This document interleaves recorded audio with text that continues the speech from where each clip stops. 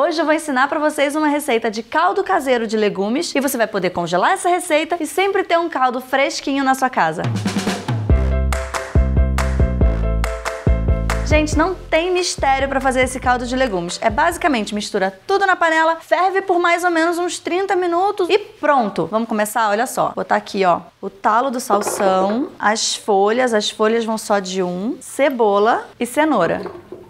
Agora os temperos. Os temperos a gente vai usar folha de louro, cravo e pimenta do reino. Pimenta do reino a gente vai usar a bolinha mesmo, tá, gente? A bolinha direto. E como eu gosto muito de noz moscada, eu vou botar uma pitadinha também porque eu não resisto. Gente, noz moscada é muito bom, né? Agora eu vou colocar aqui 2 litros de água. Pronto, agora eu vou tampar essa panela e depois que começar a ferver, aí que eu começo a contar meus 30 minutos. Quando passar o tempo eu volto para mostrar para vocês como é que ficou isso aqui. Então, passaram já os 30 minutos que precisava passar e olha o cheiro disso aqui, vocês não fazem ideia. Aqui, ó. Gente, olha isso. Ave Maria.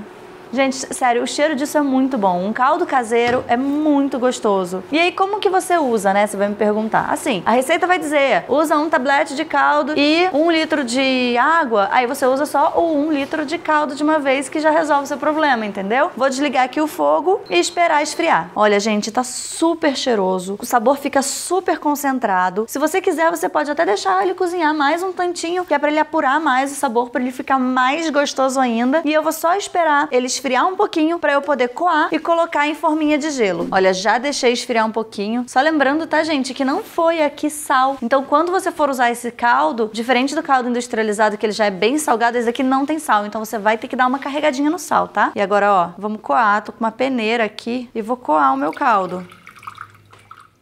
Se você tiver coragem, vira tudo de uma vez, mas é porque eu sou medrosa, faço muita sujeira, então eu vou virando aos pouquinhos.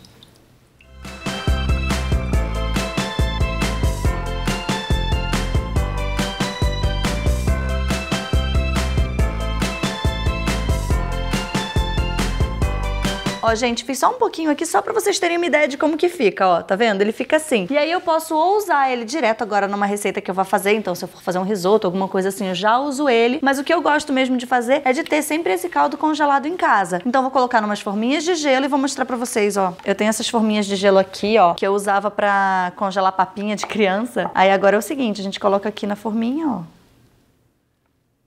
E aí, sempre que eu precisar, é só eu ir até o congelador e tirar o caldo. Super prático, né? Pronto, gente. Agora eu vou levar essa minha forma de gelo pro congelador e da próxima vez que eu precisar de um caldo de legumes, eu já tenho pronto. Super prático, super rápido, não me tomou nem uma hora e é maravilhoso, cheio de sabor. Espero que você tenha gostado dessa receita. Curte, compartilha. Você já sabe onde eu tô em todas as redes sociais: Facebook, Snapchat, Instagram, Twitter. Tô em todo lugar como Panela de Barros e a gente se vê no próximo vídeo. Beijo e até mais!